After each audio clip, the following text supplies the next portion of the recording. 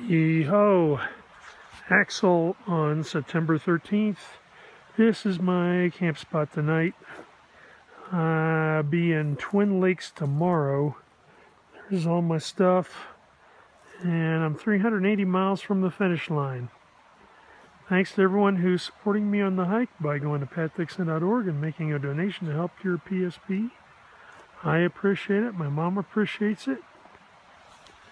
See you down the trail.